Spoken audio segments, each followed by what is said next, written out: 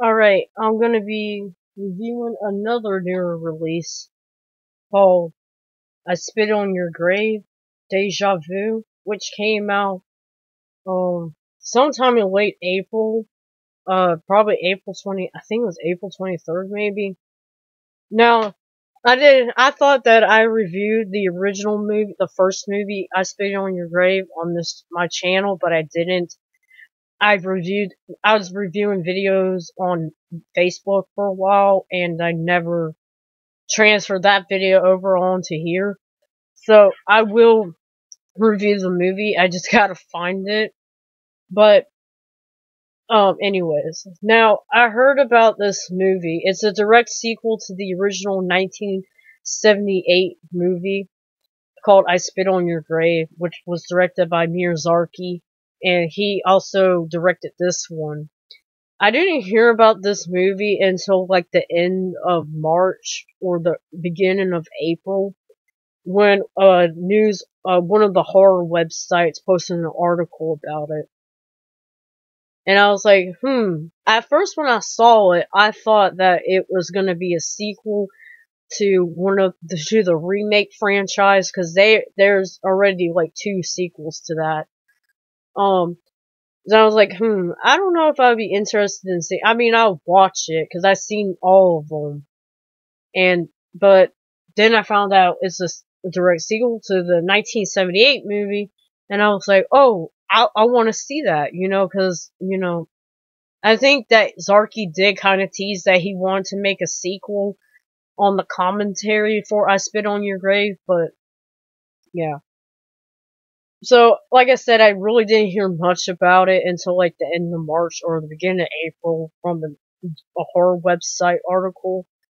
But I I had trouble finding it when it was released because it didn't drop on VOD yet.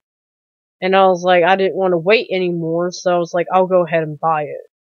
And yeah, this movie was not good, in my opinion. Um, I'm not, I like the original I Spit on Your Grave. It's actually one of the movies besides Last House on the Left that really got me interested in exploitation films and extreme cinema. And do you know, um, a lot of people know that the I, the original I Spit on Your Grave is an infamous rape revenge exploitation film that has been banned in several countries. It's been ripped apart by critics because of its, I guess, I think it was like 40 minute rape scene. It, or maybe it wasn't that long, but it was a pretty long rape scene. And, and then afterwards when Jennifer gets her revenge on the guys, it's very bloody and kind of sex- sensualized and stuff. So it's the original movie is very controversial, and I really don't see why it needed a sequel. It's just fine as for what it was. Now, this movie follows. it's 40 years later, kind of like what Halloween did, and Texas Chainsaw Massacre, and Leprechaun, and other franchise horror franchise has been doing recently. And it's about Camille Keaton or Jennifer Hills, who's played by Camille Keaton. Uh, she's written a book about what happened to her when by the men that raped her and that she tortured and killed. And it causes a lot of problems because there are family members still alive from the men that she killed and like because there's like a radio news segment about when they're talking to her and she's talking about they're asking her like well you killed these men but how you killed them it was very sexual well some of them how she killed like matthew and and johnny in the original was very sexual how she killed before she was very sexual before she killed them and she explained it and it sets off. I, I've of, I'm trying. I don't want to spoil it, but I'm trying to give the plot as good as I can. But Johnny's wife hears this, and it kind of pisses her off, and she rallies a group of people to go and capture Jennifer and kill her because she believes that Jennifer is just a sadistic sexual psychopath kind of thing. And then when uh then you get introduced to Jennifer's daughter. I forgot her name. I was that's bad. Uh I watched this not that long. Oh, Christy, who's played by Jamie Bernadette, which I don't really I don't know what she's been in. Um she she's a model and or she's a successful model but she wants to quit because she don't like it anymore and you know she's kind of anorexic because you know if you're a model you got to keep a certain weight and stuff but her and her mom are walking up this restaurant and they're beaten and kidnapped by these two guys and they drive them all the way to the town from the original movie and everything plays out from there. And I guess that's the basic plot of this. I'm not, I don't want to spoil this movie, but I guess I'm going to have to spoil some things.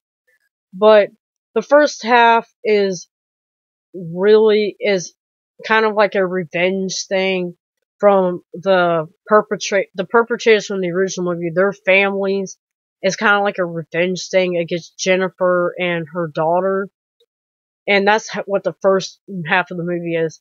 And when a significant thing happens, uh, a major character dies. I'm not going to say who. Um, it the plot the the second half of the movie turns around and becomes kind of a remake of the original movie, and yeah, um, I want to say this: the acting is really bad in this the only characters I could stand were, were Camille Keaton and Jamie Bernadette, who plays uh, Jennifer's daughter. And those those are the only two I could stand in this movie. Everyone else was really annoying to me. Um, and plus, this movie is two and a half hours, so it kind of dragged and it made it really and kind of it made the performances, the annoying ass characters, even more grating to watch. It was so hard for me to sit through this movie. Just it's not because of the runtime, because I can watch long movies, but it, I mean it was kind of unnecessary because this is a sequel to a rape revenge movie, and this is what this movie turns out to be.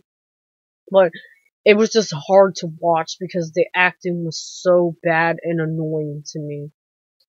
Uh, I mean, it's a lower budget movie, so I wasn't expecting much. I mean, the there's a little bit of creative kills and gore in it, but that's it. Uh, that the uh filmmaking's all right, and I think some of the things they should have cut down, like people walking through the woods or having these long ass conversations. They could have cut it down a bit. But that wasn't really the problem for me. Well, that, that the pacing was a little bit, but the acting I could not I could not stand it. Um, and then there's some things too, like the the timeline gaps don't make sense. Like there's certain characters that should be older, like Johnny's wife and uh Matthew's dad and uh I don't know about uh Andy and Stanley's uh I guess one was a nephew, one's a cousin. Maybe they're like about the right age. But and then I guess the daughter, Jennifer Hill's daughter, she be she should be about like 40 or something. I mean, she didn't look she didn't look that young to me. Like she I know she's in her early 30s, but I mean, she didn't. She didn't bother me. I thought she was perfect. She looked fine for the role, age wise. But like the older characters, at least, like Johnny, because later on, Matthew's grandparents or Johnny's grand or Johnny's parents come in and they don't look that old. and then I guess it was Matthew's grand grandma. She should be dead, and she's in this. I mean, yeah, it has some like timeline issues like um Texas Chainsaw 3D did. But I heard that this movie was filmed in like 2014 or 2015, so that's probably a big reason why. But still, yeah. Oh, I don't know. I I should mention this too. There's another pivotal scene in this movie, and if you're if you've seen the original, there's a rape scene in this movie. It's not as graphic and brutal as it was in the original, and it's kind of shortened, but because the acting was so bad, and I don't know if it's it intentionally they're trying to make it funny or if it's intentionally funny, but it was really uncomfortable to watch because it was like very it was very like came off very comedic and I don't know. It kind of reminded me of like the rape scenes in Mother's Day, the Troma movie, and I didn't like that movie because of that. I mean, I don't care if you like it; it doesn't bother me. But like when I watch a rape scene in a movie, I want it to be serious and not be uh come off as comedic. Um, yeah. I mean, like I said, if you're a fan of the original movie, I guess give this one a shot. I mean, I know there's some people that like it, and it's very divided down, like who likes it and who doesn't. I well, I didn't really enjoy it at all. But if you like the first movie, I would say check this out if you want. I mean, you might like it. I mean, everyone has a different sense of humor to them, and this and it's like because there's a lot of dark humor in this. So, sorry, I would I would highly recommend it. But if you know if you're not really a fan of the original movie, and if you're more of a fan of like the remakes franchise, then I wouldn't recommend this movie.